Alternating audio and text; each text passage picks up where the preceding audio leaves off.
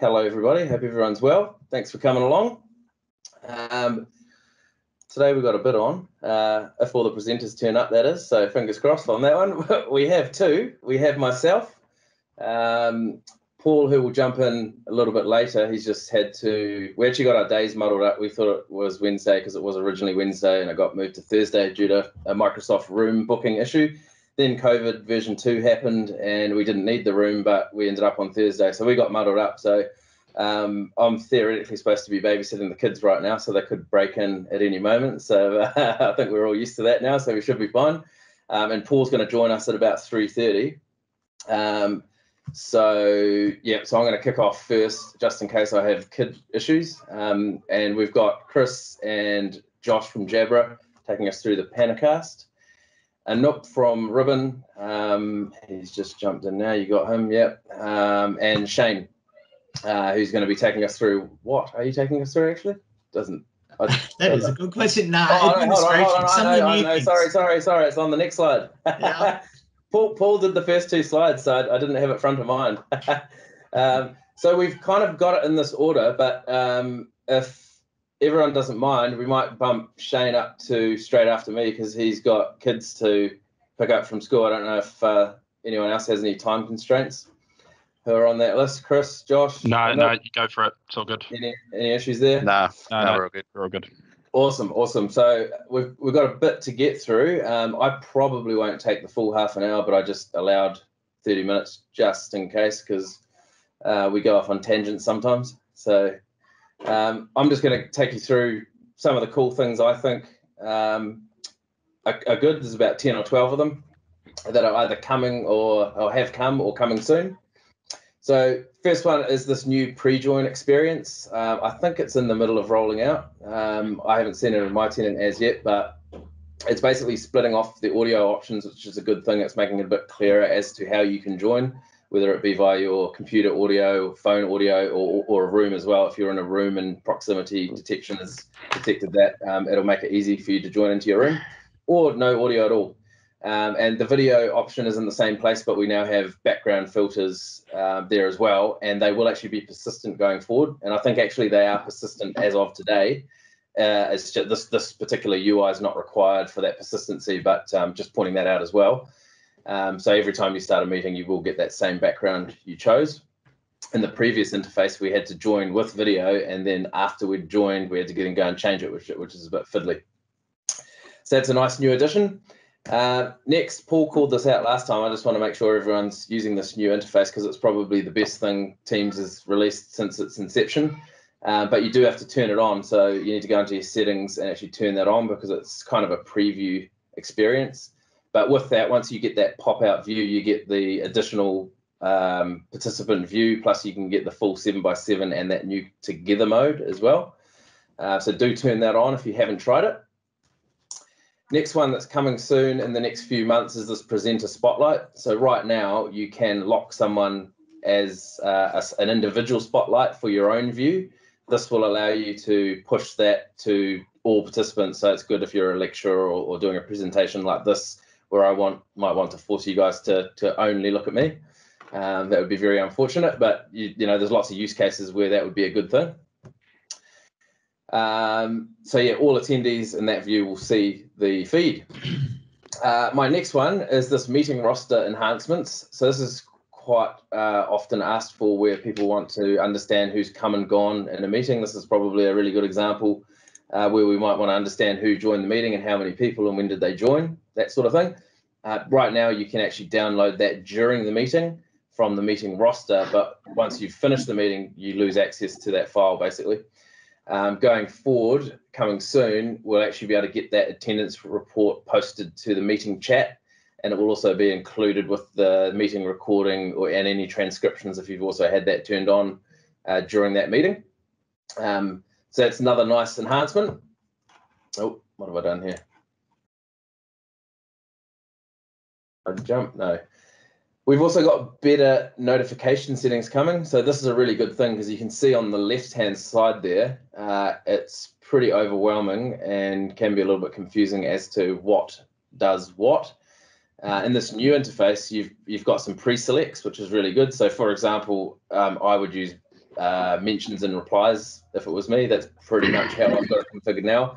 Uh, maybe with a few little custom settings added in, uh, but that's typically what I'd use. So users going forward can just literally go and press that button for for to set their optimal choice. And another one that's useful as well, I think, is just having more clear access to being able to turn the email notifications off. Because for me, I find them kind of pointless. They kind of just clutter your inbox. You're already dealing with the notification in Teams, and then to get another one in email is a little bit annoying.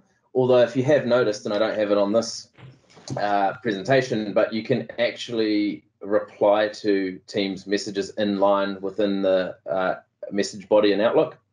Um, so you can actually hit reply. I think it's only in Outlook in the web at the moment, as far as where I've seen it.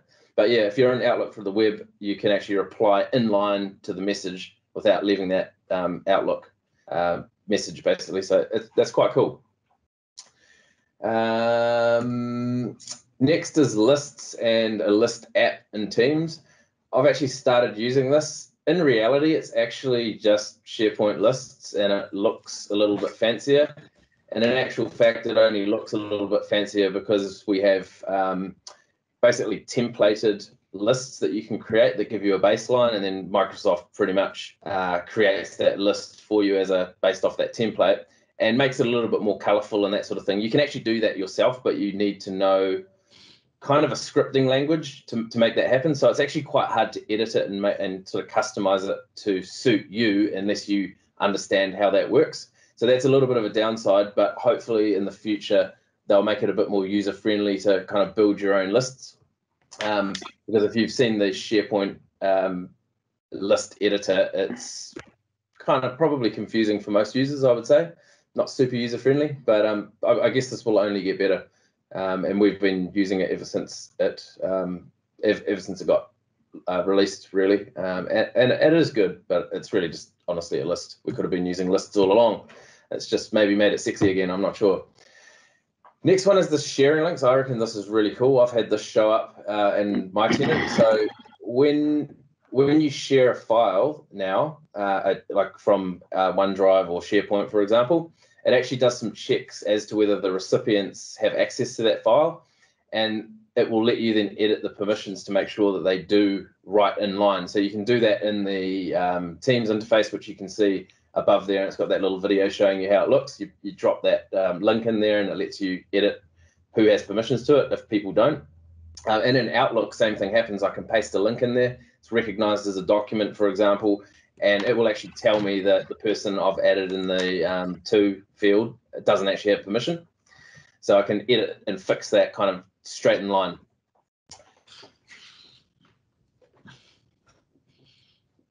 Uh, next is sharing links. So I'm sure we've all been in situations where we've had to move files around, um, probably files begin their life in OneDrive and then maybe move into a team and then move into a different site collection in SharePoint somewhere else. This basically uh, allows you to reshare any file that you move. You can see, if you can see my mouse here, you've got this little tick box here to keep sharing with the same people. Um, so what will happen in that instance is that the file will, file will move the permissions will, will basically follow that document and people who are collaborators on that document already uh, will basically get an email to tell them that the file has moved and here's the new location for it. So that's really, really handy. Whoops. Here we go. Uh, another SharePoint one is this automatic expiry of documents shared with guests. So you can set a threshold in the admin center as to how long should a shared document with a guest be accessible and then after that time, the um, the file will no longer be accessible to that person. I don't think there's any sharer uh, controls to tell them it's about to expire. There's definitely admin controls.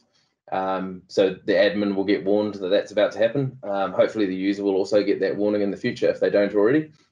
Um, but if that does expire, then you you have to reshare those documents. So useful piece of security, I think. Um, we often have project sites that just um, end up sticking around forever, and, and maybe you want an expiry of you know even if it was 12 months, just to to kill it at some point without needing um, user inter intervention.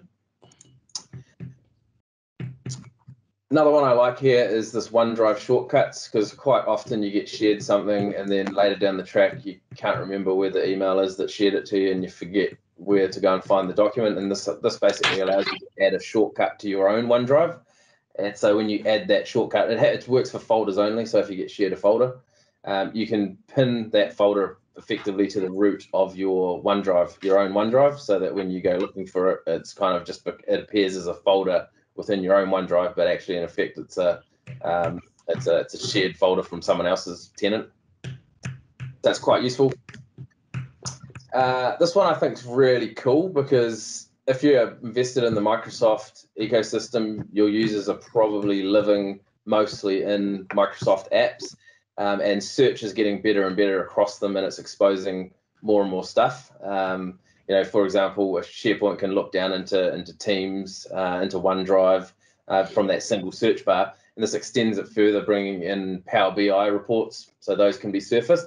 And also, you'll now be able to kind of write your own third-party plugins, or or there's an I think there's an app store for this actually, as well. So um, again, just brings in all your searchability into this single platform, um, whether it be Office 365 data or maybe a third-party system that you're stuck with, and, and you know Office 365 doesn't have an equivalent. Uh, there's lots of line of business apps along those lines.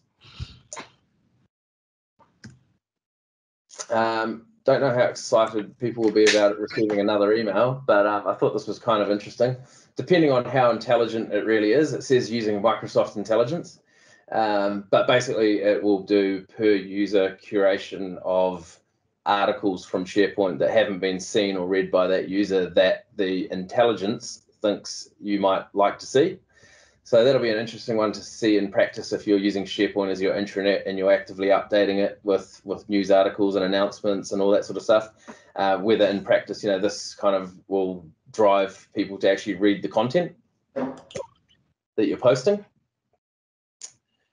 Uh, this is not that new, I don't think, um, but I had the first chance to have a bit of a play with it just um, a week or so ago, and I thought I would include it anyway. It's, it's reasonably new, um, but basically this lets you sync uh, message center messages to to a planner, uh, which I think is quite good because I mean we're actively using Planner all the time and mostly within Teams, and this allows me to basically have a Planner uh, tab open with my message center um, tasks that I need to take care of, and you can automatically sync those into that planner. And so you can see in this example here, uh, to the left of this, you can't see, but I've got uh, another container or bucket, as they're called, that brings in the synced messages, and all of them get dropped into there. And then I basically just sort of sift through them and order them into the, the category. Um, and then I mark them with whether I should be planning for that change within the user base or whether it's just an informational one. And for our business, we don't really care about it, but it's interesting. Uh, or you know whether I've actioned it or, that sort of thing. So it's it's a nice, I think, easy place to go and manage that where you're already working rather than having to log into the message center. Um, and potentially, I guess I, I don't know how you drop this down to the user level, but I guess you can give access to you know your change managers and things like that so they can have easy access to it. Um, and also the added ability of, of planner over the message center is being able to kind of manage resources to actually action things that need to happen. So that's quite a useful one that i'm going to use a lot. Uh, if you haven't caught on ie11 support in teams initially will be dropping off november 30 hopefully people aren't really using ie anymore. It's i think it's near dead already, but I'm sure some people out there are. Uh, probably for certain line of business apps. Um, so for Teams, Teams Web will no longer support it after November 30, and Office 365 overall, so all apps and services, will be August 2021. Now that doesn't mean Internet Explorer is no longer supported. That will still follow the lifestyle cycle policy for um, the operating system that it was shipped with, basically. So Internet Explorer is not kind of dead completely, but Office 365 services are, are basically end of lifing it. Uh, and if you don't know, the new Edge browser, which is based on Chromium, so very, very similar to, to Chrome, um, it's almost identical, uh, that actually has a IE uh, mode. So I haven't actually played with it myself, but I'm I assuming I'm assuming it it will render things the way IE 11 would. I don't know if it incorporates um, you know, the different additional security and things like that that IE has always had over and above a lot of other browsers. Not sure, um, but that's something to look at if you needed that IE support, and maybe it would work for your line of business apps if you if you had one or two of them, right? Um, okay. And Edge Legacy, so that's the original Edge. That's Microsoft's attempt at a new browser, which was Edge, and then they decided actually we'll use Chromium because um, know, it's a good engine. It's proven most of the people on the internet are using Chrome, so they've just taken a, a, a fork, I suppose, of Chrome and badged it IE. Um, and I'm actually using that myself, and it, it's pretty good. And you're starting to see some of the Microsoft specific things getting incorporated into it. For example, it recognizes opening a SharePoint document as an example, whereas Chrome always struggled with that. Um, the Edge browser will know how to handle a, an, an, Office 365 document and open it directly in the application. So that's quite quite handy. Um, and that is me. So I had here that we have Jabra, but let's um, let's let Shane jump into it. Do you want to share your screen directly? Was there any questions for me actually before we move on while Shane's getting getting all set up? Cool. There he is. Hey.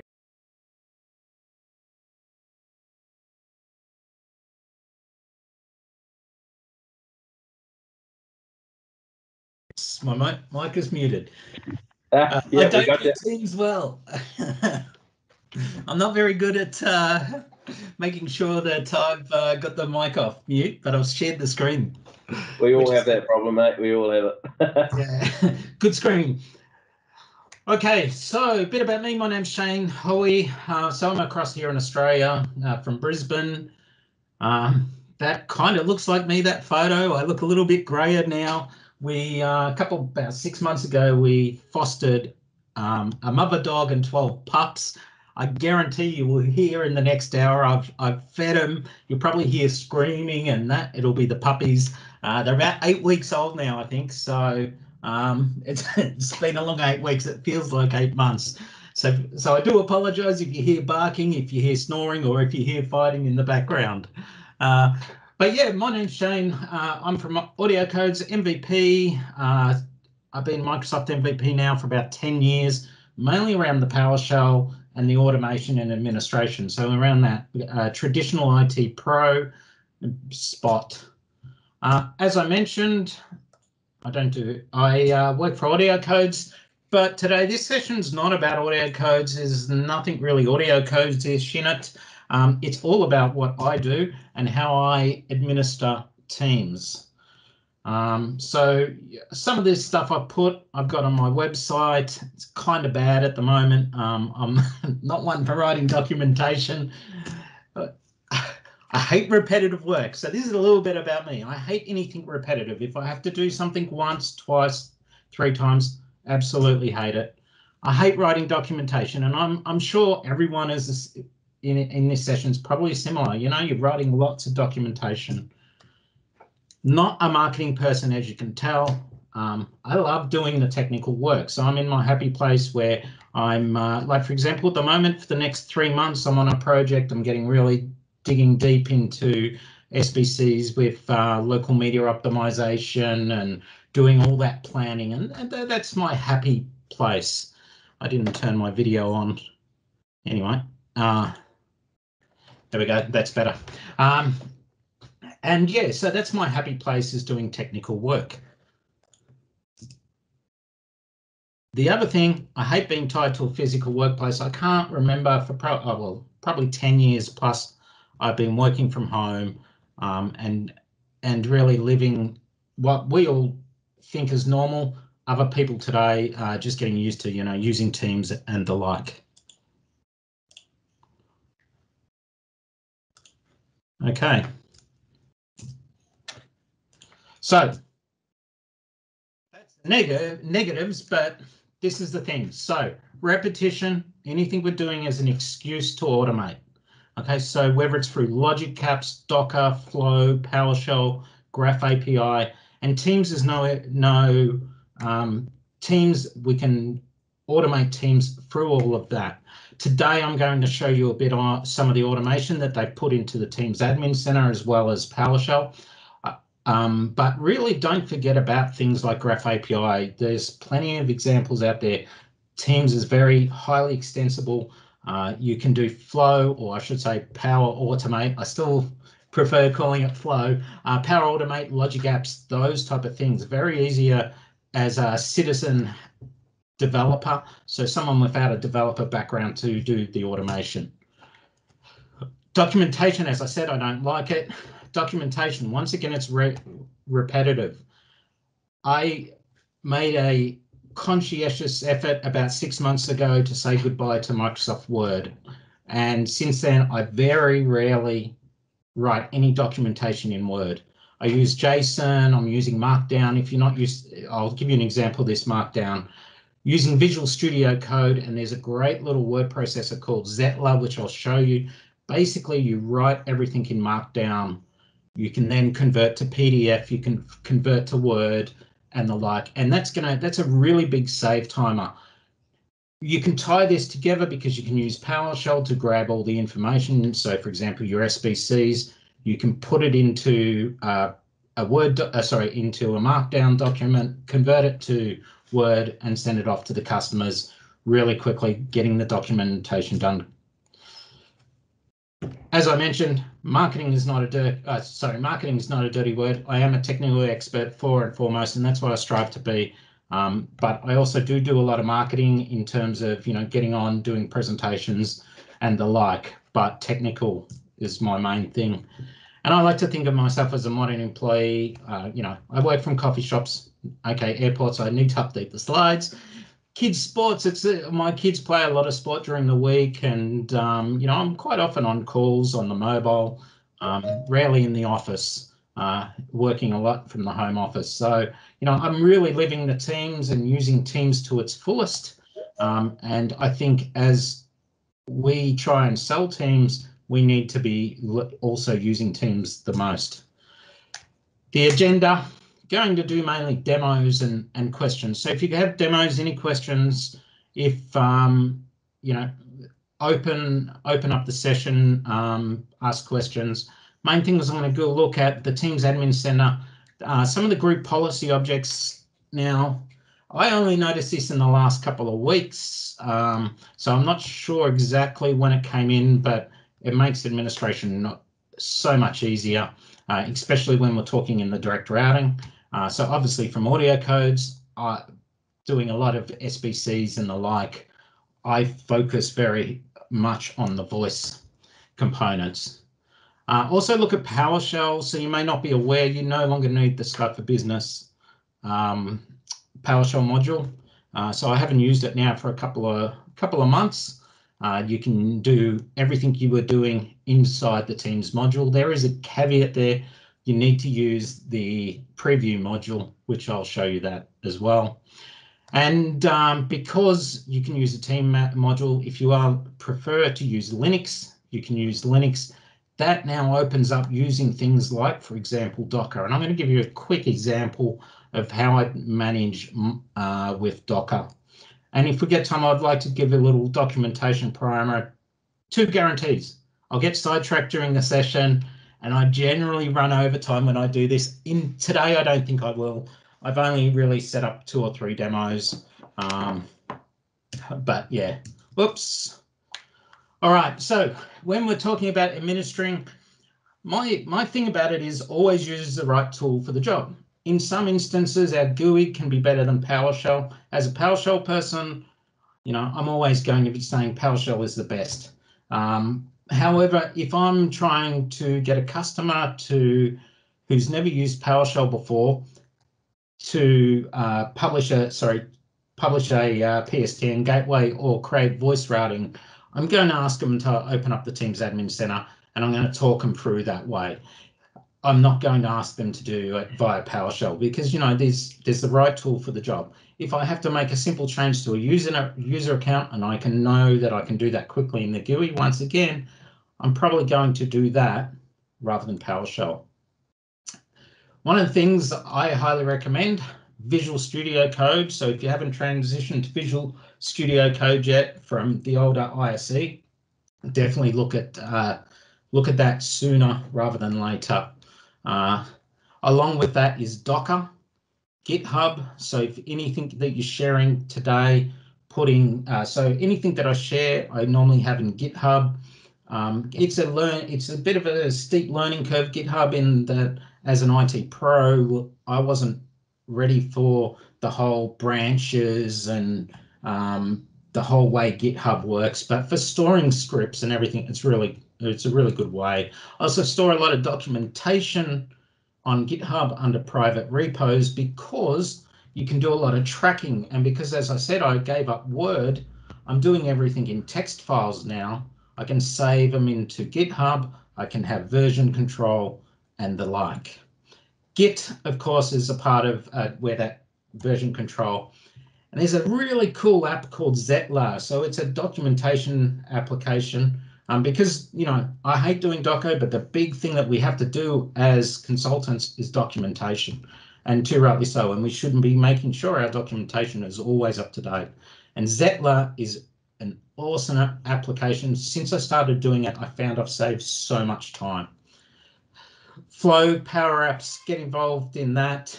Um, and also the last one, just understand the difference between Windows PowerShell and PowerShell Core. So Microsoft have got Windows PowerShell, which is what comes shipped with Windows.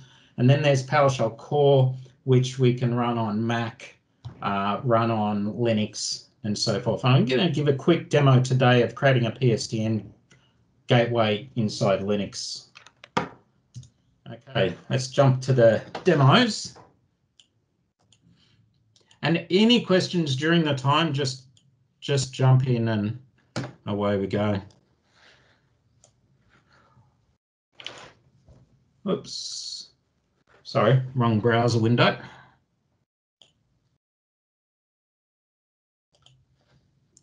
Doesn't matter how many times I practice this, I always get the wrong browsers.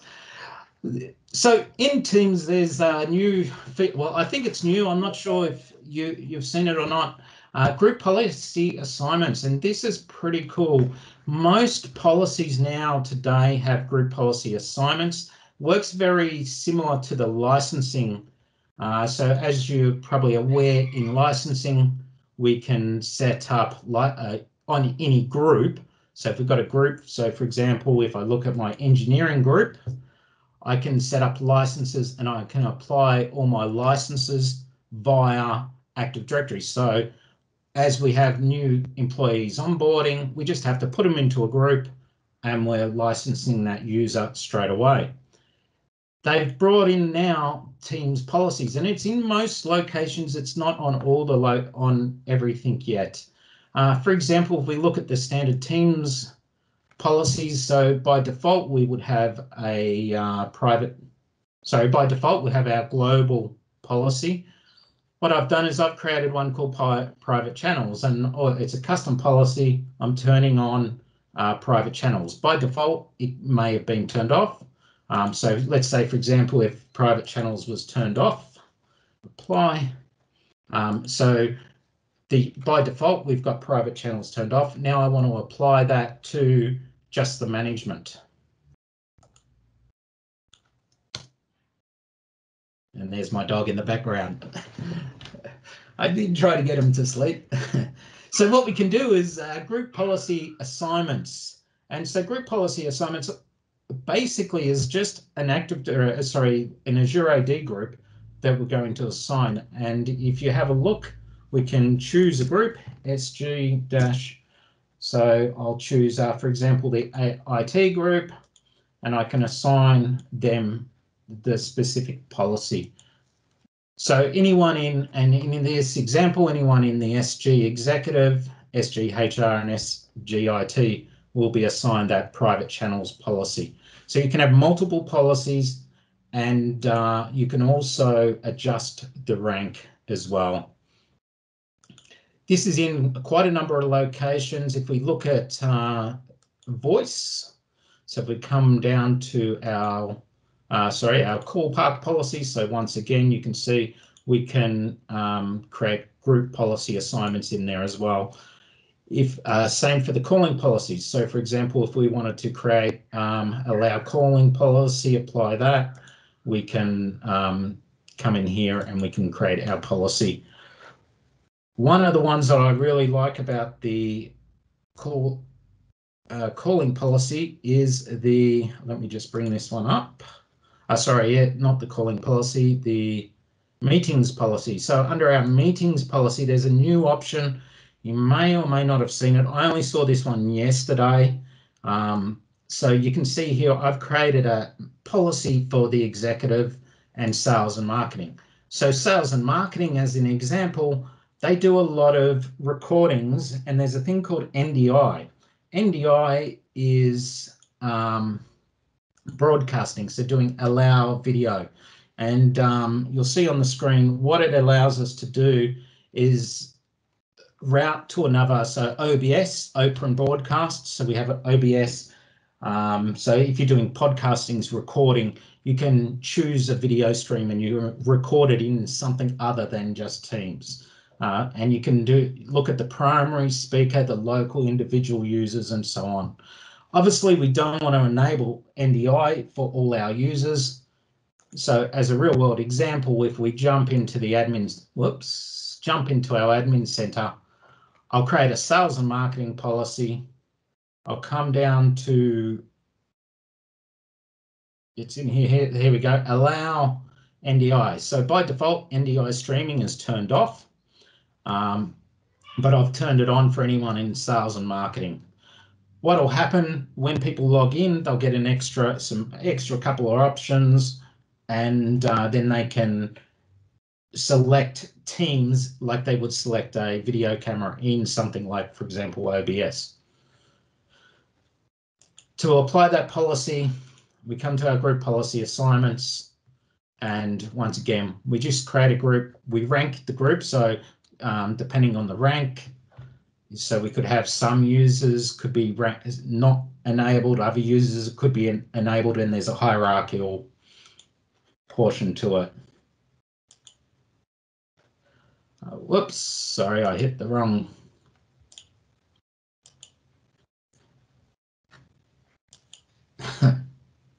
it's not coming up. What's going on? Okay, I'm just going to add a new group. So, so it's very similar here. We just put in our group uh, SG dash sales and marketing.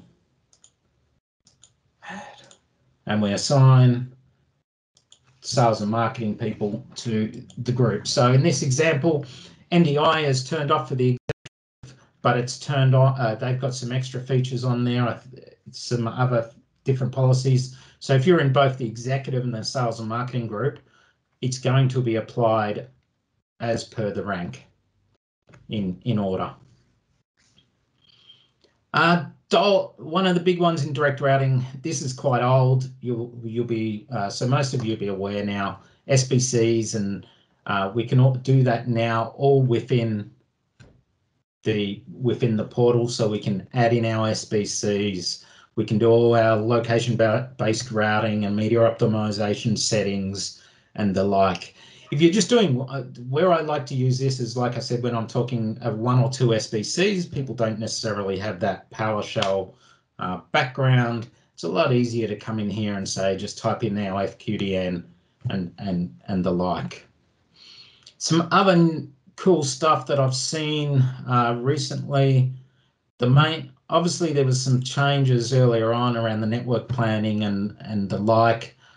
For me but it's really is the policies and the group policy assignment. You can really automate things. Your management of teams comes down uh, to basically active directory groups uh, and now let's just quickly because i think i'm doing all right for time let's jump across to one of my favorites and this is Docker. So if you, if you don't know what Docker is, um, Docker desktop basically allows us to run, uh, I wouldn't call them uh, containers. You can run Docker desktop obviously on your PC. You, you can run containers up in Azure. Uh, you can run containers on Docker, I believe, as well. Um, so there's there's a whole lot of areas you can run your containers. One of the things I like to do when I'm doing my management is use a Docker container. So I'm in Visual Studio here and uh, I've got no containers, just make sure, cool. What, what I like to do is use Docker because if we look at my um, machine and if I type in get dash module list available, so just looking at all the modules I've got open,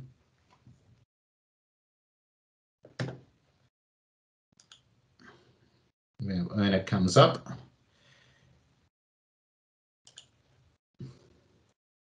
Okay.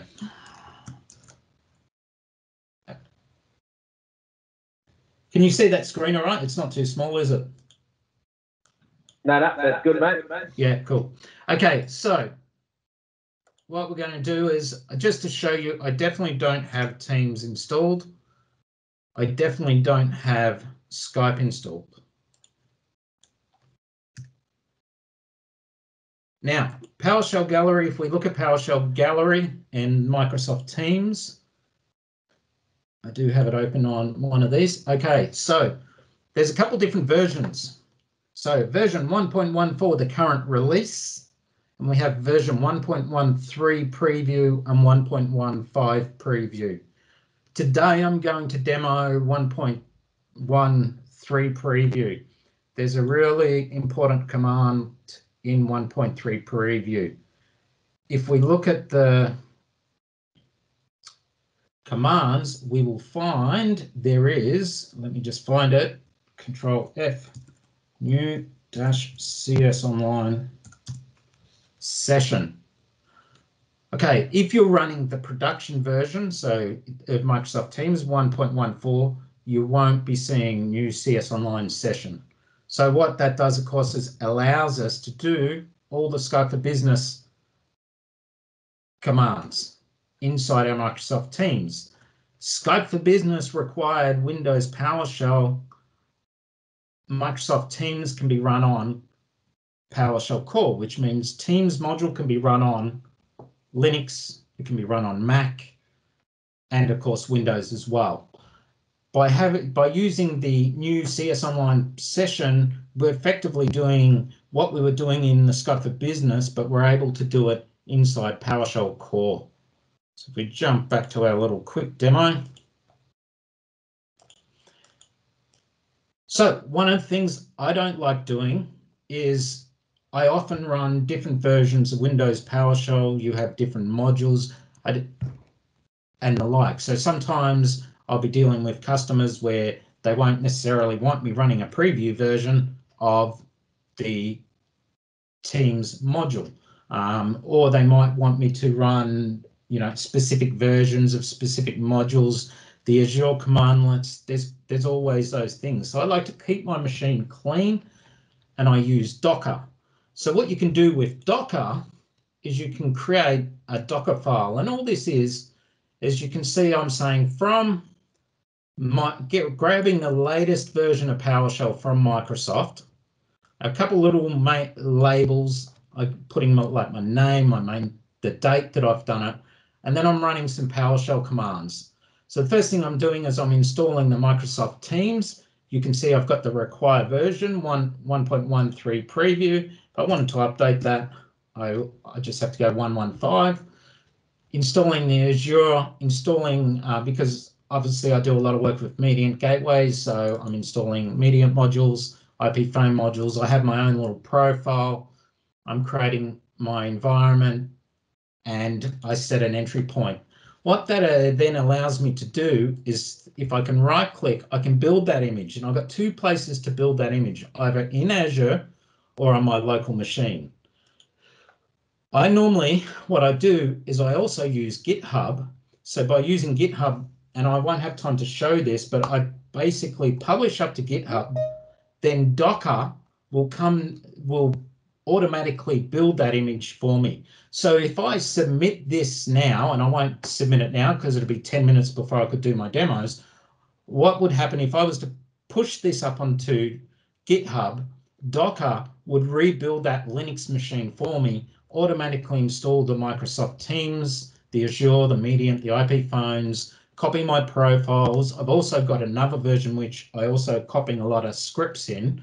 Um, so any scripts that I use on a regular basis, it copies it in. And what it, so what we then can do is, oops, go back to the demo. Anytime I want to run a container,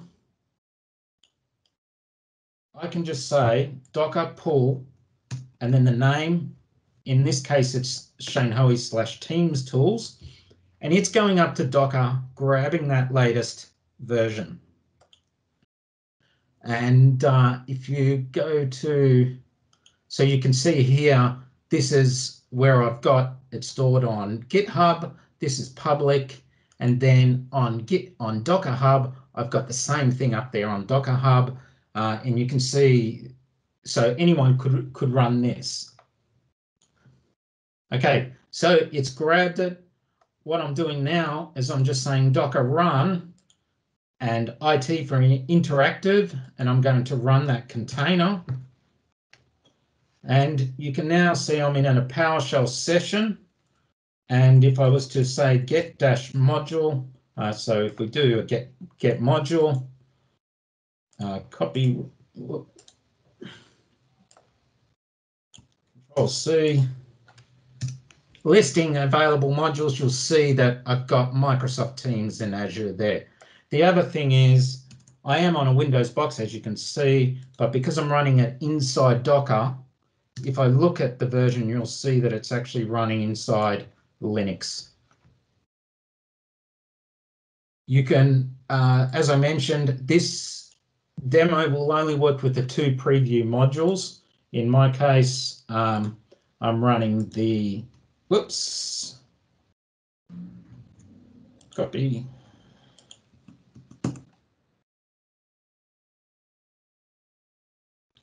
So in my case, I'm running version 1.13, but this would work with 1.15 as well.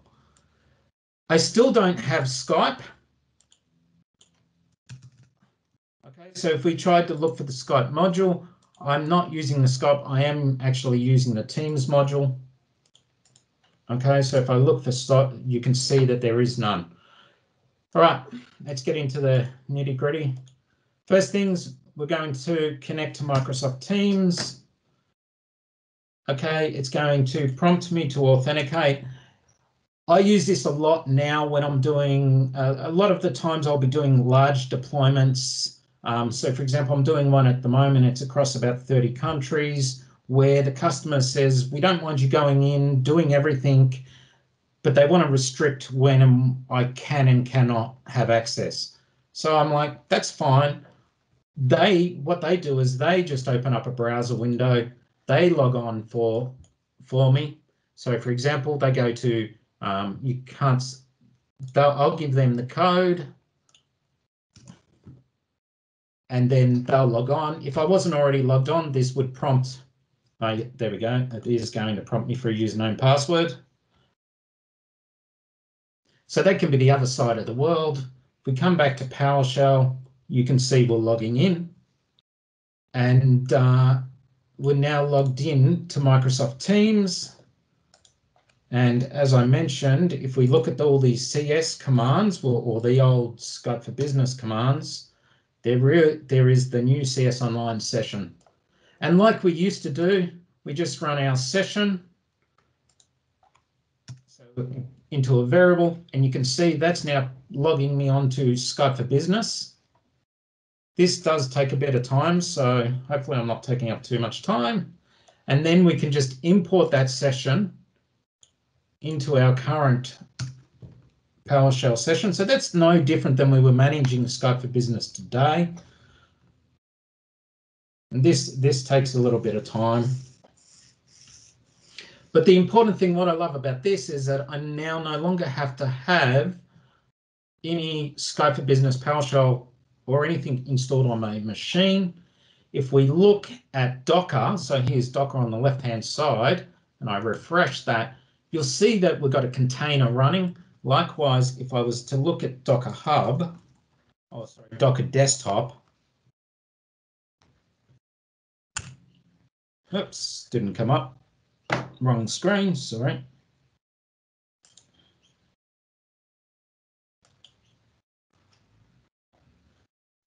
Oh, it's not coming up. Where's it gone?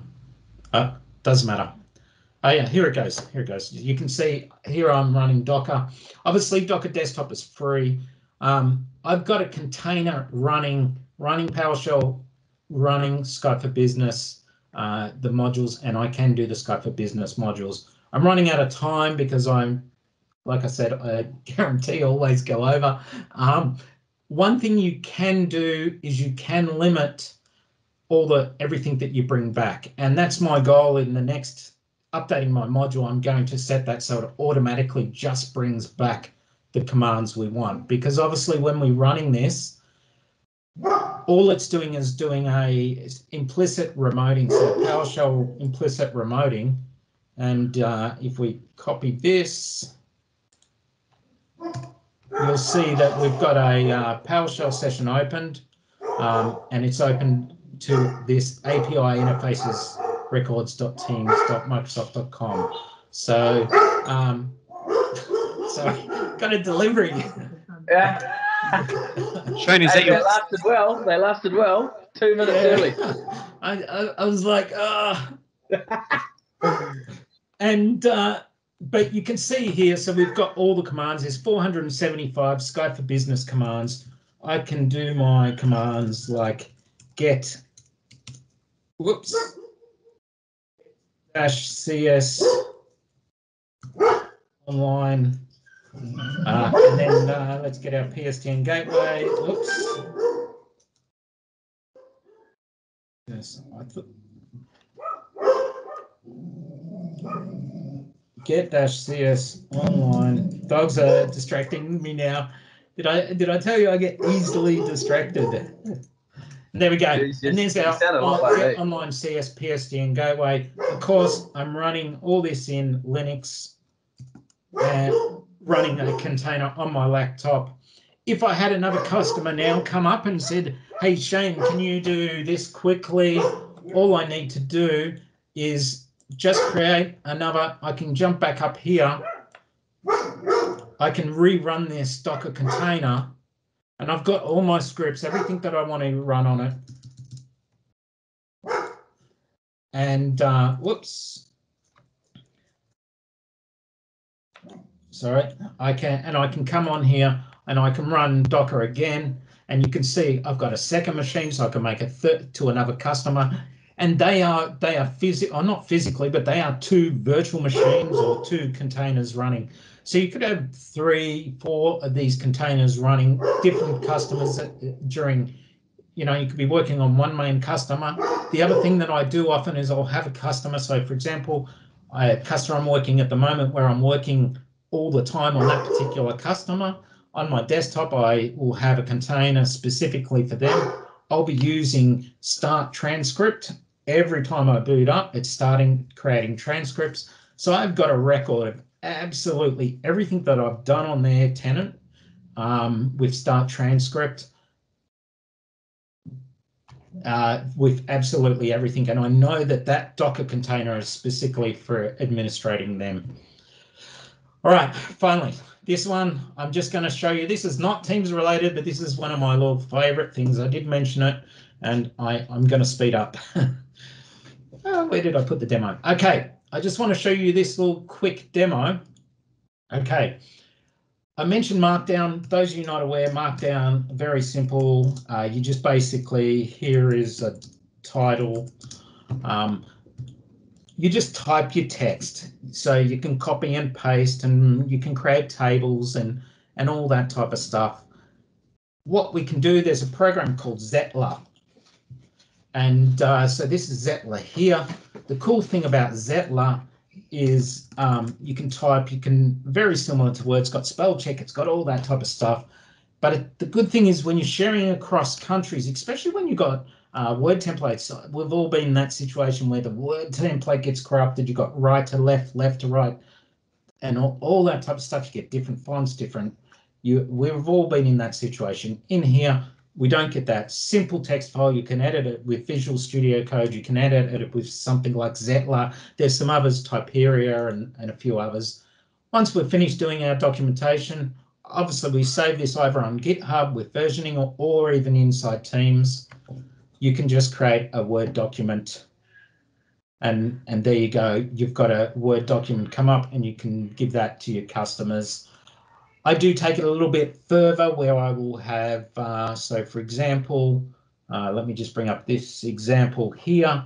Uh, so what this one does is you can see I've got, I'm using liquid. So liquid is just uh, used by, it's it's like um like a like a templateless I can't think of it. A lot of websites use it. Shopify, Jekyll, and a few others. So I have a JSON file. Anywhere where I say title, it'll grab that. Anywhere I say author, um, you know, how I can do page breaks, I can do custom styles. I have all these word styles and the like. Um, if I was to just come into our JSON file, whoops, I can, let me go across to Word, uh, to Visual Studio to show you. So I can have just a simple JSON file. As you can see here, I've just got some, you know, metadata, so that the template, but anywhere I put the author, so if I say uh, demo version one, as you can see, the so in the the liquid itself, uh, it's just it's just a template. What will happen in a few moments time, I mean, it's just automatically happens in the background. Our Word document will open up and create. Now, the way I'm doing that, of course, is with uh, Flow. And basically, Flow is just sending that, it sees that I've saved that document and then just sends it off to uh, a container, which then just converts the markdown to a Word document. And then, whoops, it's always easier when you're doing the run throughs, you don't get as many mistakes.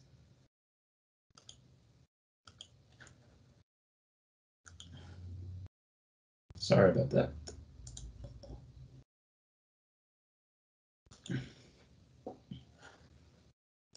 Try again. There we go. Okay, so there you go, and you can see that we're creating a documentation, um, and and we will have all different types of heading types and table styles, custom table styles for PowerShell, and that type of stuff. That's all used at the ins and outs gets pretty complicated on how I do that. Um, I have a website, directorrouting.guide, where that is how I do it. It's all done logic apps, containers. Uh, there's software called Pandoc. Um, Pandoc is really good, and that's how I do all the conversion from that markdown to Word. But if you are writing a lot of documentation, especially around Teams, direct routing, that type of stuff, really invest some time in that. You can you can save some save a lot of time. I think I'm way over time. and not too uh, bad, not too bad. Yeah. Five Um, minutes over. We'll, we'll forgive you. Okay, I knew I was going to go over, but I really liked showing that demo because um, it's cool. It just makes life a lot easier, and we've all been there with Microsoft Word. Word, when you're doing, you know, multiple people editing documents, it gets difficult.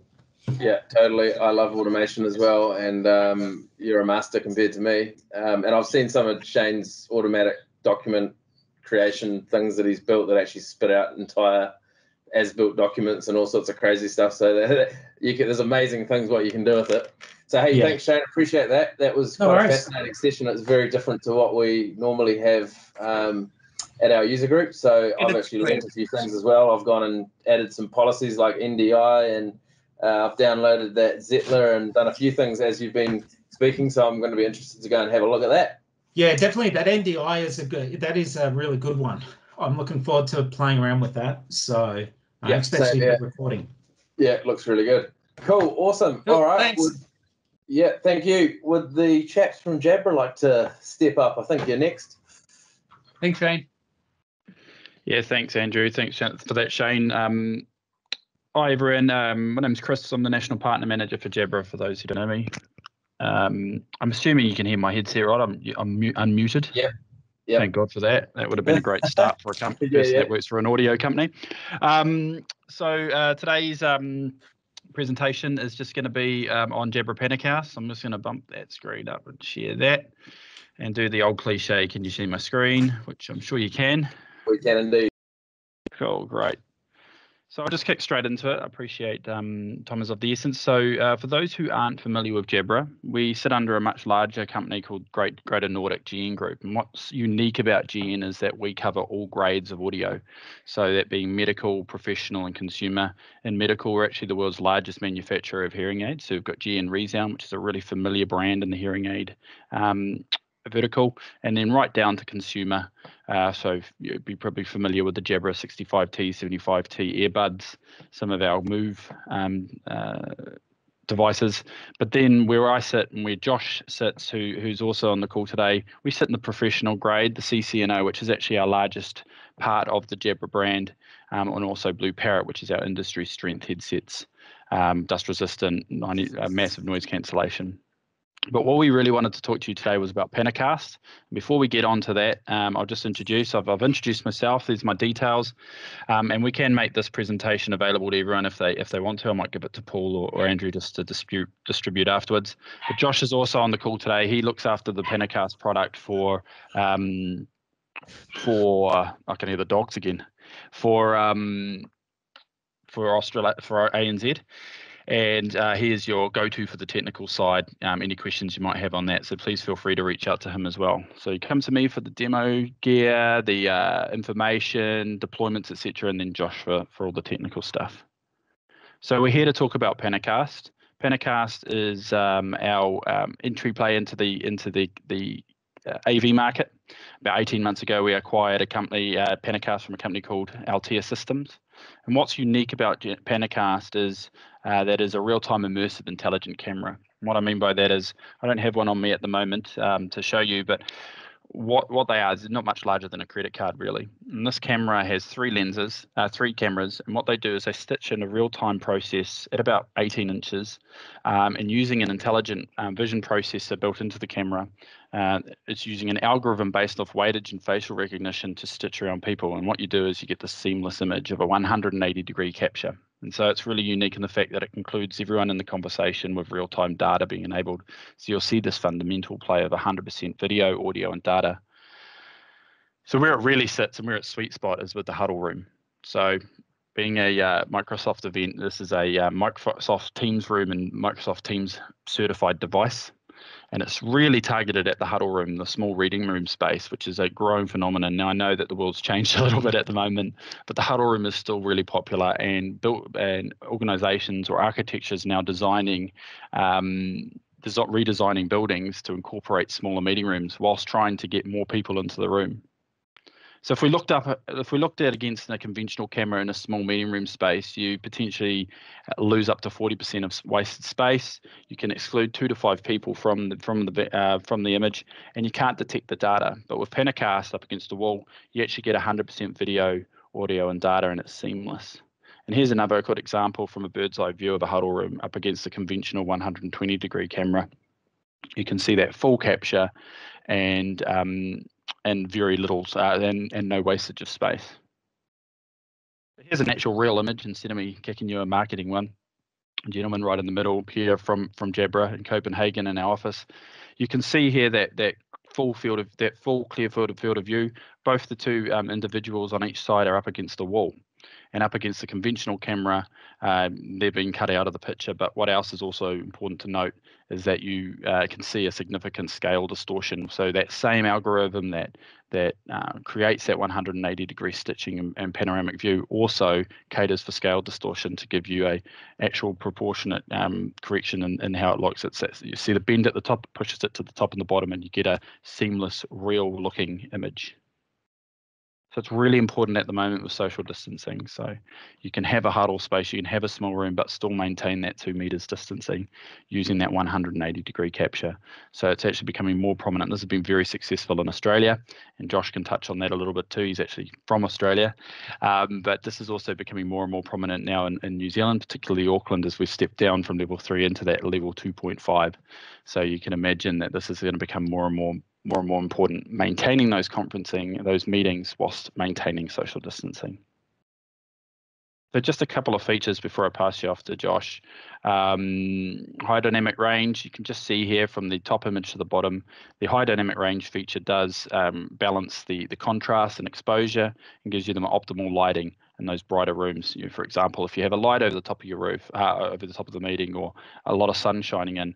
Josh is actually on a Panacast today, and he's in a room that is typically drenched with sunlight, Queensland sunlight and you can see with high dynamic range how the white balances are really, um, really uh, the exposure and it's really optimal for lighting.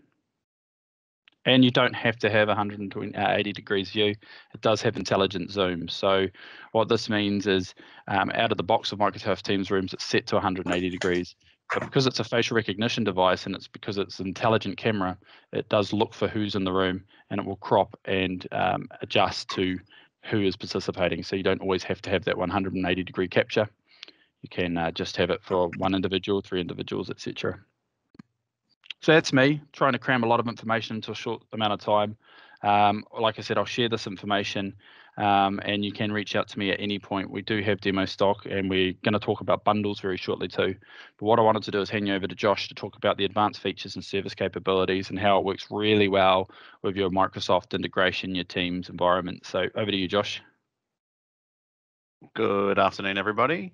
Um, hope you're having a lovely day. So a quick one before we start. For those who haven't seen the Panacast, it's what I'm holding in my hand here. So it's incredibly tiny. So really um, really nice and small and neat solution. Um, this is the actual inside of the camera, so it's actually how we we come up with the with the 180 degree um, field of view. So if you see here, we've got the the three cameras, um, and what we do to to give that 180 degree field of view that you can see in my um in my video that I'm, I'm throwing up at the moment, we pop it on a cylindrical panorama, stitch it all together, and that's how it comes up with the 180 degree um, field of view.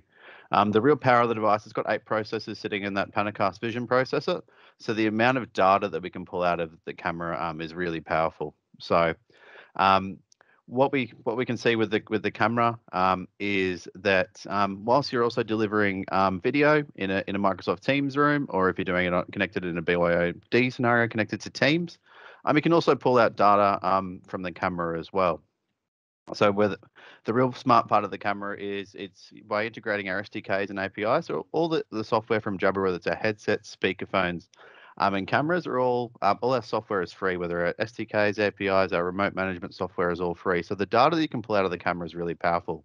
So one of the really popular SDKs that you can pull out of our uh, out of the Panacast is the people count feature. So the ability to see how often your your meetings are being used, potentially setting alerts for COVID, um, the, in terms of how many people you want to set that limit um, in a room, or if you connect it to some some other other features you've got, if you connect it to some of the publicly available object libraries, you can actually see what's happening in the room. So you see in this, this is our old um, Cupertino office um, where Altia Systems used to be. They've just moved into a shiny new office um, in the last couple of weeks. Um, but the ability to see what's happening in this room. So you see there's all those um, all those um, chairs in there, the monitors, the screen. So potentially you could do some asset tracking, or you could, if you've got a a portable, like potentially a Surface Hub in that room, and you want to make sure it doesn't go anywhere. Um, you can do asset tracking hiding in there as well. Um, but there's some more solutions with the camera whilst it's delivering video. You can also do people counting. So a scenario that we, we've seen is quite popular, actually popping it into a, a lecture theatre theatre at a university and just counting the amount of people in there. And especially important now with a COVID limit, if you've got 50% and potentially a solution by using the people count feature is to send an alert to the, the lecturer once you've you've overgone that threshold of um, of 50% for that particular room as an example. Um, so the way we we um, we kind of position the camera, it's fantastic for a for a meeting room to put in that small and medium meeting room to, um, to deliver great um, video. But there's also a lot of data that you can pull out of the camera. So the way we kind of explain it, because you can see the whole room um, with a 180 degree field of view, you can actually capture all the data in terms of what's happening in that room. So way we kind of position it, because you can see the you see the people count by integrating our SDK, you can generate um, room analytics and and integrate in that services that you um, that you offer to your customers. Um, an example of that in the real world is actually the integration between um, the Joan booking room um, system um, and the Jabra Panacast. So Joan's an e-ink booking room panel solution. Um, so what they've done, they've integrated the people count function of the and the SDK of the Panacast and connected it through their APIs. And what it does is when you actually walk in a room for an ad hoc um, meeting, it actually detects that you're actually sitting in the room um, sends that people count function through to Joan and actually changes the booking room panel to booked, and it'll update 365 to, to booked as well. Um, If you have an hour long meeting and you leave um, in at half an hour, um, it'll detect there's actually no one in the room, the camera, and it sends that information back through to Joan and actually um, releases the room and releases it in 365 as well. So it shows the kind of power that you can can get and the extra information that you can deliver by um, like using the the, the data and the, the SDKs out of the camera as well. Um, from a compatibility and integration perspective, so if we talk, what um, Chris touched on at the start was the camera is certified for Microsoft Teams rooms, um, it's also certified for Microsoft Teams. So whether you're doing a room system or a BYO solution, um, it's um, it's most certainly certified. Um, we've just released a, our partnership with HP, so HP Elite Slice, who offer a um, the MTR um, compute solution. By bundling that with the Panacast, you're able to do a, a complete Microsoft Teams room as a solution um, offered um, by Jabra and HP. Um, because we're, we're a camera, you can also pair it with some other solutions. So other solutions we see popular on the market is the Lenovo Hub 500 for an MTR. Or if you are if you are more familiar with Crestron, you want to use one of their integrated kits and combine our camera and speaker um, with their devices as well. Um, oops, I think we've got the next slide coming up. Um, we've also got our BYOD solution as well. So if you've got a customer who's not quite ready to, to jump into an MTR, but you want to give them that professional solution, we have the, the BYOD or the Jabra Panacast Hub. So what it does is consolidates the uh, USB, HDMI, Ethernet, um, and power all into to one cable. So when you roll into the room, you plug it into your laptop, um, and you're able to um, connect straight off the, the Teams client that's natively on your PC as well. Um, and just the just the key takeaways from our presentation: 100% um, room coverage, so you capture all the data as you can see the whole room. Um, as Chris touched on over over here, the, the social distancing um, piece has been really powerful. The ability to light up those small and medium meeting rooms, but keep it a safe enough distance away from from your colleagues, and by integrating your SDK, our SDK and API into your, your VC solution, um, you're able to capture a, a lot more data from what's happening in those rooms. And I'll hand that one back to you, Chris. Yeah, thanks, Josh. Uh, just wanted to touch back on quickly before I hand you back to Andrew, uh, is the HP bundle. So that is a collaboration piece. That is not just us bolting onto an HP um, slice. This is a, a, a, a partnership um, which works really well. Now it's also available uh, without the HP um, speaker. You can have the Jabra um, Speak 750, uh, which is team certified device as well.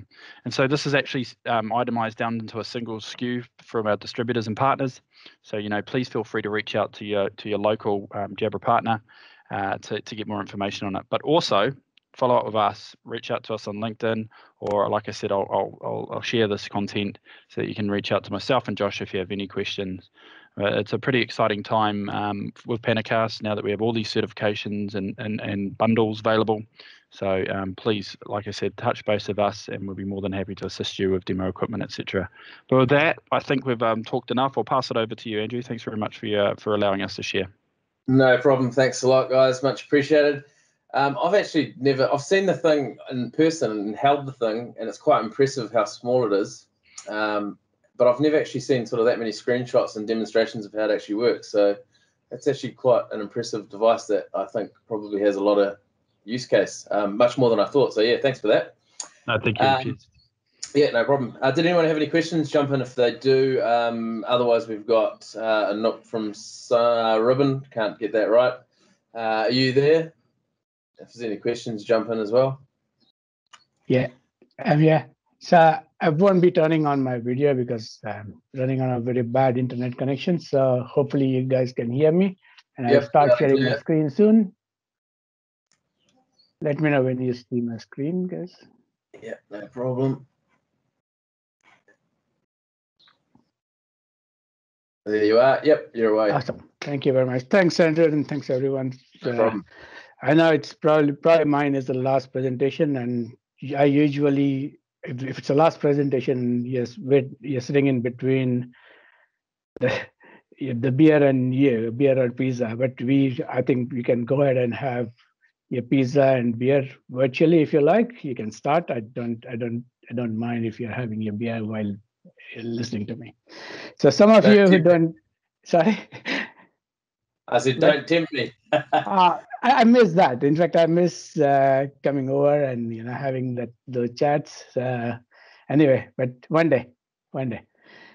All right. So I think most of you or some of you would know me. My name is Anup Soman. I'm uh, I work for so, former Sonus, now known as Ribbon, Ribbon Communications, based here in Sydney. And I have my colleague also who had joined on in this meeting, Emmanuel Christophorus, also known as Manny, and uh, we look after ANZ region in terms of you know supporting customers and partners for all our SBC and all the all, all the solutions we have. So I have a couple of updates today in terms of the new products or new products we are bringing out to market. And one of them is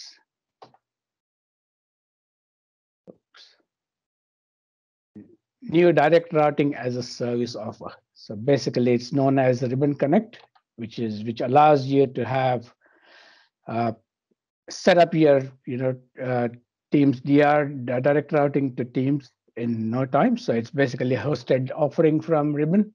So we host the services for you. It's a monthly service. You pay you pay, you pay monthly, and it's like uh, hosted by us managed by us, looked after by us, updated, patched, everything is done by Ribbon.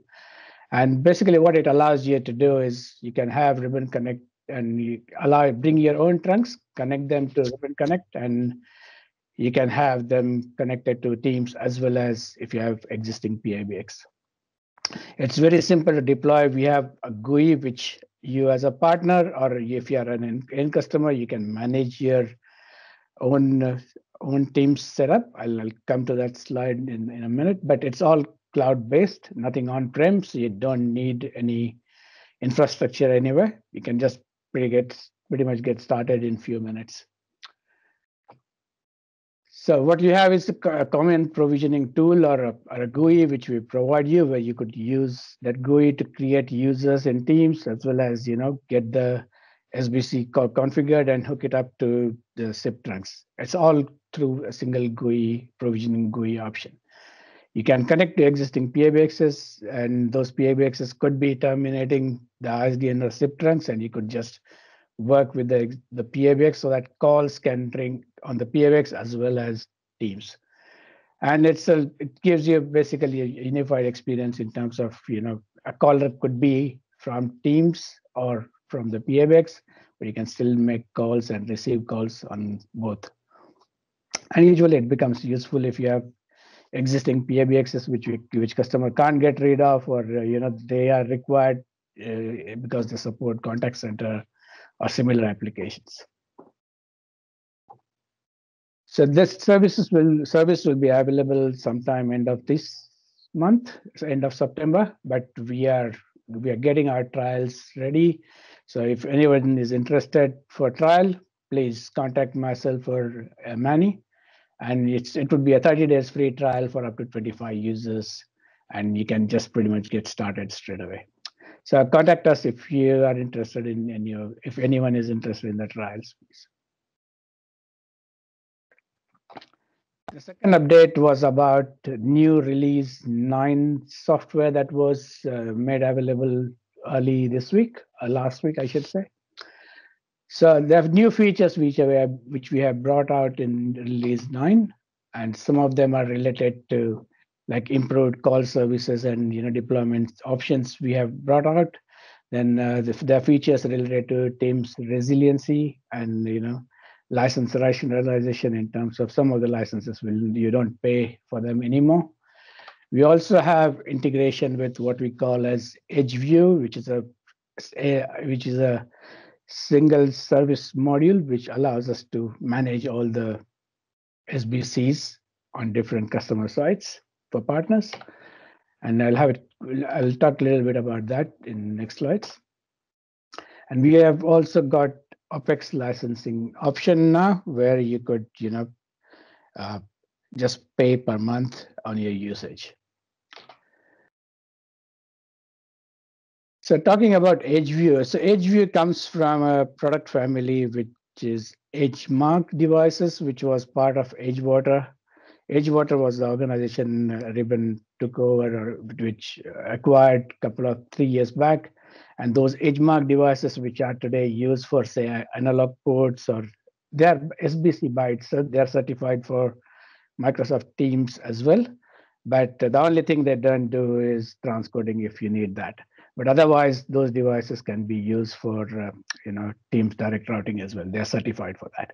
So that that that product portfolio used what we call as EdgeView centralized management platform, which allows you to manage provision or it talks to the devices and gets the information back from devices, which helps you troubleshoot and fix the issues. It it provides uh, the the devices talk to EdgeView management server and provide monitoring and alerts all the time.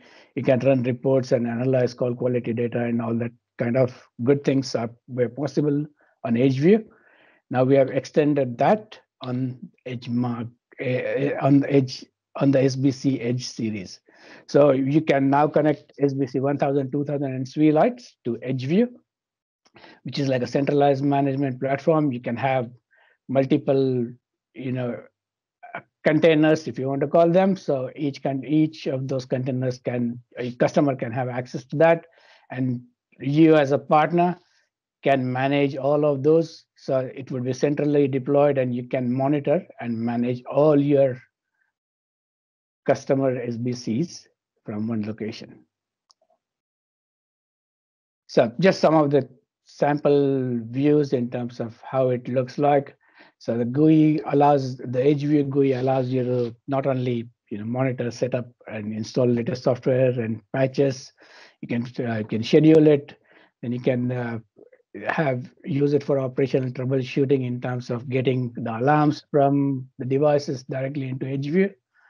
Or if with SWE-Lite, it allows you to do call quality monitoring. It keeps pulling information every 15 minutes, and then it's it, it, that the type of uh, reports easily I'll help you identify where the issues or the call quality issues could be, you know, whether it's on a land side, WAN side, or if it's the device that is causing the problems. So all this is available as on uh, this week. As a release nine on SBC SWE-Lite is already available. It's GA already, and uh, release 16.0.1 on on EdgeView would support that. SBC 1000, 2000, 9.0 would be GA in a couple of weeks time. We have a new feature that was brought in to basically it's enhancement of the deployment wizard we have. So with with the deployment wizard, I'm I know most of you or some of you would have used it, where you run the wizard and you can set up say teams to uh, SIP carrier in probably less than five minutes. So for customers who have existing analog devices to be connected or existing PABXs, so once you have deployed that, and if you want to add an another leg to the uh, existing configuration, we now have that option available where you could go and add a new peer and set the routing relationship between those uh, different entities. And it's basically, you know, you can stitch all those calls together and uh, go from there. SWE-Lite, which was available in uh, in in the public cloud only in Azure till today. Uh, now we have support in AWS also. You can deploy it uh, SWE-Lite in AWS. With uh, today, as a first phase, you will get the AMI from Ribbon Portal. There is a form you can fill in, and then it will send you the details to get the AMI. And phase two would be like where we would have it available in marketplace in AWS, and there would be Chime support as well going forward. So in terms of uh, performance, you could see a small, a T3 small, a very small instance can support 100 sessions or 30 transcoded sessions. If you want to go up to 1000 pass-through sessions, C5X large, which is still a small four vCPUs instance can support 1000 sessions and you could have up to 480 of those calls as transcoded calls. We have also brought out enhancements in terms of Azure performance. So it's pretty much almost 20% in uh, you know better performance in terms of number of sessions we can support on DS1 and DS3. So going from 120 100 to 120 transcoded sessions, from 400 to 500 transcoded sessions. But if you are not using any transcoding, there's still you can handle thousand sessions easily with four vCPUs. So a very small footprint in both public cloud, private cloud, as well as on-prem, and it can support huge number of calls. We have also introduced uh, a feature for call recording, which are uh, the SweLite can now support SIPREC, would allow you to uh, integrate with the call recording solutions you might have. We have already tested this with NICE, so it works fine. So it's available on SIP uh, on, on, on SBC SweLite, and you know it's just a license you need to purchase. That's it. And the new monthly recurring licensing option, so you could have your SBC either on-prem if you want to deploy it on KVM, Hyper-V, VMware, or you know it can be in Azure or AWS, and you can deploy a fully featured uh, all the licenses available SweLite, and we just bill you on a monthly basis. And no upfront perpetual licenses uh, you have to purchase. So just uh, based on customer commitment, if there are if they go over, say if you if your commitment is for 100 sessions and if you go over, we will just charge you for extra usage for that month. And there are a few resiliency features that I'm sure Andrew you were waiting for, and this is like internet destination route or a secondary route in case the primary route fails if you want to talk to teams. So this would be available in the next release or next maintenance release, I should say. And then there is there would be right now if you guys if everyone if you don't know microsoft is working on a solution similar to what we had with uh, skype for business sba so that SBA feature would be available on the on our SBC 1000, 2000, where we have ASM modules. So that with ASM module, we would be able to run the SBA feature on that. And I think it's likely to be available sometime in Q4 or late Q4. So great, great features for in terms of resiliency and uh, branch offices where you might. So today there could be a solution where if you have handsets being used by Teams user. Those handsets, you could you have a solution, survivability solution uh, with the local SBCs, but your Teams client running on your PCs, there was no option for them to make any calls or you know they would just go dead. But uh, with this new SBA, that would uh, definitely that issue would be resolved. And we are really really looking forward to you know get that working. So there are some pilot uh, pilot customers on it already, and uh, the test is going on at the moment. So both these features, resiliency features, are would be available in the next maintenance release, which would be sometime uh, you know in Q4 this year. And that's pretty much from me. Yeah. Any questions? Feel free. Thanks, Anup appreciate that. If there's any questions, just jump on in just generally speaking, if there's any questions across the board, uh, feel free to ask them because I think that brings us close to the end, does it? I think we've done quite well for time. Um,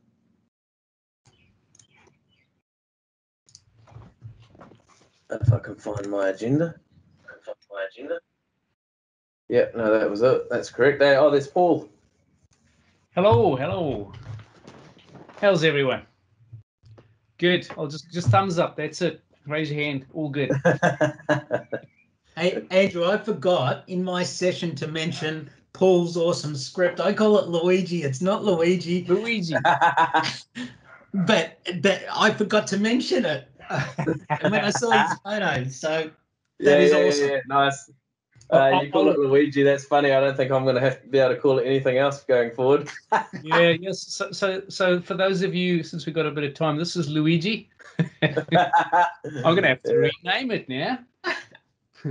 so this is it over here, and, and uh, what it basically does is it allows you to co- collect the line URI assignment data for Skype and Teams. Um, by default, it's collecting Teams. So when I go connect, it's going to come back and ask me some authentication questions. So uh, one moment while I collect those. Uh, right, we'll put it our name and um, in case you didn't believe me, there it's popping up now. So this account doesn't actually have MFA, but because it's just uh, triggering the uh, A365 sign in, if it's MFA, it'll just ring your phone or whatever, whatever you set up, right? Now, at the moment, the get data button is grayed out because it's busy loading all those PowerShell, all that fancy stuff that uh, Shane was showing us earlier, but from a Windows PC. Right, so it's loaded. If I go get data now, it goes and runs the script to populate. You'll see it's not too slow. Um, and if I have a look at this, this is all our users, all our phone numbers, uh, enterprise voice enabled. This I'm actually pulling from Active Directory, their mobile phone numbers, SIP addresses, what policies they have, um, and it tells you what mode they're in. So you see we've got like mixed mode. This is actually live data. So it's got mixed mode. This is all Teams data, as you can see. So a whole bunch of people in here with Teams. It's sortable. So if I click on the button, it'll show me, okay, there's all the people with islands, there's people with some other setups and so on, right? If I also want the SFB data, well, I could have clicked that from the get-go and just grabbed both in one go, but I'll just grab it now. Now, I don't need to log in for this because I actually have the PowerShell tools for Skype for Business on my local machine, and through the magic that is direct access, I'm able to connect there directly. So it'll jump in there, and of course, when the button pops back, that's when the data's there. So we'll just give it a moment as it's, there you go. Now, if you look under the user field, you'll actually see I've got dial-in conference, UM contacts, response groups, trusted applications. It's all there, everything. So, of course, these are all Skype for Business users, right? And again, um, I can sort by any of these columns. If we go sort by line URI, it's easy to pick a number that's free or not in use. There's a bogus number if I ever saw one. Look at that yeah, whatever. right. Well, fortunately, that one's not enterprise enabled, enterprise voice enabled. So that's all good. But you get the idea, right? And down here, if we want to search for anything, I can go look at, let's go find Andrew. And you can type any of the data that's across any of these fields. You can just go and type and hit the search.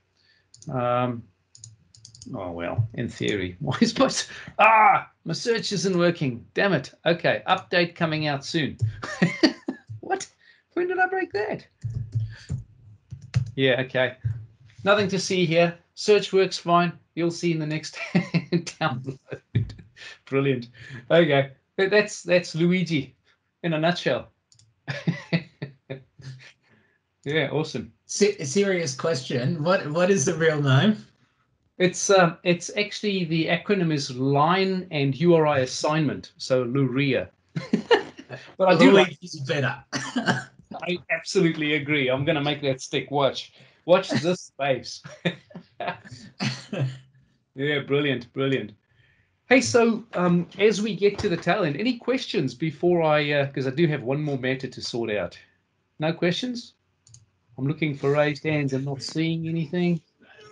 I just want to say that that application is available on GitHub if you are oh, interested. Oh, that's true. Yes, Luigi. Yeah, Luigi's on GitHub. um, just look for me on on uh, LinkedIn or on Twitter, and uh, you'll find out. Made some noise about it a couple of weeks ago. Uh, it's been around for a long time. I've been using it back in the days in Lync already. I just haven't made much noise about it. Cool. So um, no questions. So one of the things I wanted to just ask or put out there is if you have something you'd like to discuss. Um, I certainly would see a, like to see a lot more of Mr. Hoey's uh, really amazing automation skills. I've seen some of the outcome of that, but man, I think I could take some lessons there. That'd be awesome. we shall see. Hey, Josh, I'm, I'm, I'm available for hire. yeah, I'm sure you are. so there's there's one other thing. The um, if, if you do have anything you would like to see, or if you're keen to give it a go to to present on one of these sessions, just hit us up. You can you can either chat to me on LinkedIn or Twitter, or you know uh, even through the meetup. We're not uh, difficult either way. Perhaps next time we can have a bit more in person and have those beers on. It was promising. That'd be great, eh? We'd also love to hear customer stories. Even you know, it doesn't have to be technical. Just any successes that you've had or failures? That's a very good point. You know, I don't know if you guys remember, but some time ago we had a customer from Kutai Logistics, and they had a they did a session on how they did their um, teams deployment, what challenges they had, and so on. And it was the the the I think it was their IT manager plus their lead engineer who came in for an interview, and that was just like so well received. Um, you know, even weeks later, I was still getting people pinging me about it. So you know, if you've got a good story, um, you know, that would be great to hear, especially if you're sitting quietly in the back there going, oh, yeah, well, our deployment didn't go too bad. You know, we've got some stuff to share we'd like to, uh, to talk about. That would be very much appreciated. Now, there is one other matter. As soon as I can find the right page, give me a moment. I'll find it in a, in a moment. Is there anything else from your end, Andrew? Uh, no, nothing from my end except to say thank you for everyone for coming along. Appreciate it. So there is there is one thing we've got a giveaway, a really really nice giveaway today, thanks to uh, the the very fine folks at uh, Jabra. And if I can just get my, there we go. This is more like it. So if I could just get my little, I'm doing now. In the past, I used to go so far as to to ask some questions and see who gets up first and so on, but that doesn't always work with the shyer ones amongst us, right? Look at that, So- eh?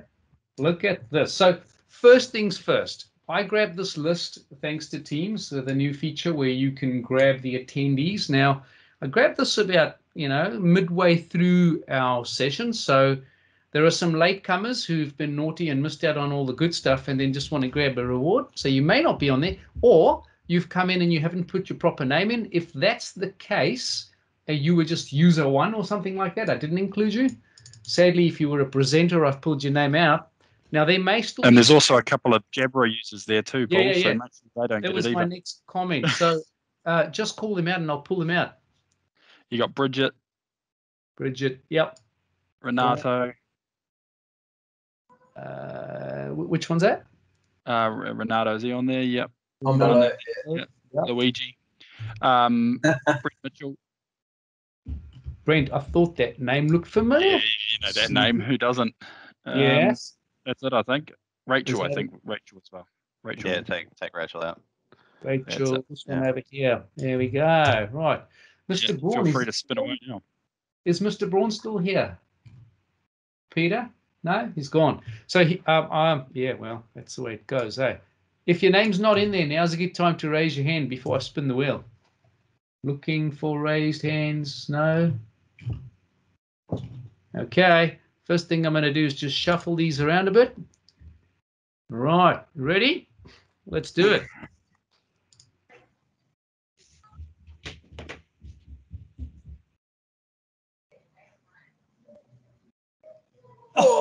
Oh. That's, well, bru- there. that's So brutal. close, eh? That's all. So let's just ask: Brilliant. Is Damon you still here, Mr. Ellis? I don't think he is. No. Okay. Well, here's the problem, right? If Mr. Ellis is no longer here, he's gone. So let's go with another one, eh? We'll shuffle names again for good measure. And if, this is way more fun than asking a question, isn't it? I reckon. I'm liking it.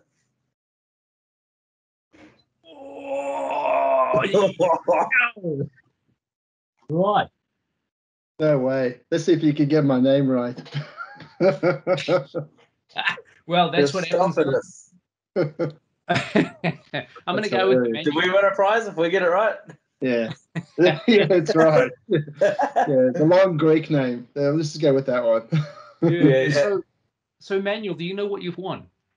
Uh, the Jabra, that new Jabra camera, I'm assuming. I'm hoping. Josh is full of his Ah, tail. awkward. No. So I can post it Good try though.